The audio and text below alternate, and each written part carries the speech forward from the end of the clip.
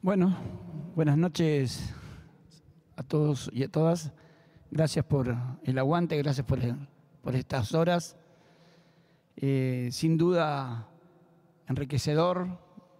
Me parece que esto daba para varias semanas de, de discusión, porque esto es lo que pasa. Mezclamos previsional con el RIGI, con, el INTI.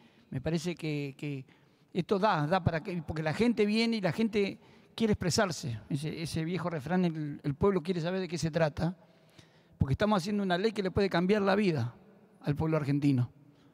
Y nosotros tenemos que ser muy conscientes en eso. Eh, yo voy a hacer dos para no aburrir más, dos tres preguntas. Y sobre todo, yo tengo una anécdota con el INTI. A mí me tocó ser intendente de Comodoro Rivadavia y en enero del 18 nosotros hicimos un convenio y llevamos un laboratorio del INTI a Comodoro Conocimiento. Teníamos un enorme problema de la medición de los alcoholímetros, que parecería un tema menor de todo lo que estamos hablando bueno, ese tema menor era que nosotros hacíamos la multa, la judicializaban, como no tenía, no estaba homologado, la rechazaban. Hasta que vino el INTI y nos dio eso. No solamente hicimos laboratorio, nos dieron la, posibilidad, sino que automáticamente, en ese, en ese momento a cargo de Comodoro Conocimiento estaba Alberto Rosensich, se hizo un convenio con las petroleras para la calibración de lo que hacían ellos en el campo, que por el tema del alcoholímetro, las drogas peligrosas. Y pasé eso un muy buen negocio para el INTI, certificar eso. No solamente era una empresa de déficit del Estado, ya no era, era un gran negocio, es hoy un gran negocio. Entonces, cuando vamos por esto, que yo, vamos por todo, no es por todo, esta, frase que la tienen ya tatuada, sobra gente. Y al barrer. Echaron una persona en el correo de Corcovado, pueblo interior de la provincia del Chubut. Una sola persona tiene Corcovado del correo. 39 años de correo. A dos años de jubilarse. Lo echaron. Entonces ahí me parece que el Estado le erra.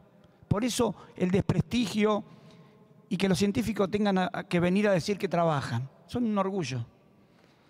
Por eso es muy importante eh, la, exposición hoy de acá.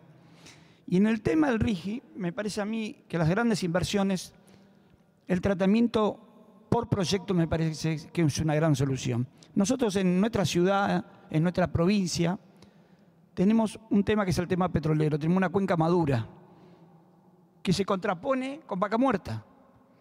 Hoy es mucho más rentable hacer una inversión en vaca muerta que en nuestra ciudad. el retorno financiero mucho más rápido. Por eso me parece que habría que hacer un proyecto de inversión con una facilidad para que las empresas sigan invirtiendo porque la cuenca todavía tiene para dar, y mucho, como el hidrógeno verde una en especial. Y un tema que hoy me lo pasa un ex ministro de, Agricultura, Norberto Jaguar, y me dice, tengan cuidado con la pesca, porque el RIGI se puede meter ahí también. Puede comprar barco de pesca, lo llena de personas que Dios sabrá de dónde las trae, no a Argentina, por supuesto, una obra, una obra, una mano de obra barata, se llevan el producto y si te he visto, no me acuerdo en Argentina. Ni hablar de dónde sacan los fondos, ni cómo vienen los fondos. Así que me parece que es muy importante meter el ojo ahí también. En el tema de la jubilación, me pareció muy, muy bien la exposición. Yo tengo dudas de qué pasa con los... Si, si no tenemos la ley hoy, si no derogamos la ley, ¿qué pasa con los procesos jubilatorios que están ahora de las amas de casa por el tema de los aportes, cómo queda todo ese, ese gran eh, mundo de, jubilados que por distintas situaciones la patronal no le hizo los aportes a corto plazo o, suena más de casa y no se pueden jubilar con todo eso. Me quedan, ahí me quedan bastante dudas. Y el tema mm, de la prensa, eh, ya que un presidente de la nación eh, trate a un periodista de ensobrado, mínimo, mínimo, ¿eh? es carta de documento y, a declarar, porque si vos estás ensobrado porque tenés un... Está, está diciendo que son coimeros, está diciendo que hubo plata, me parece que es mucho más grave. Y si lo dice el presidente de la nación, no es que lo dice, lo dice el presidente de la nación. Entonces me parece que ahí eh, la prensa toda, nosotros tenemos, estamos haciendo una enorme pelea en nuestra provincia por el U4, por Radio Nacional, por el Correo Argentino, porque tiene una profunda necesidad el interior. El interior, si no va a Radio Nacional, no hay radio directamente. Hay un viejo programa que se llama El Poblador Rural, que te dice, prepárate mañana que a las 3 de la tarde te llevo a la ladera. Y así se comunica entre los pueblos. Bueno, eso lo quieren sacar. Radio Nacional. Bueno. Pero por eso digo, digo, por eso me parecía súper importante hablar acá en el Senado, porque ustedes tienen que defender lo propio, son senadores.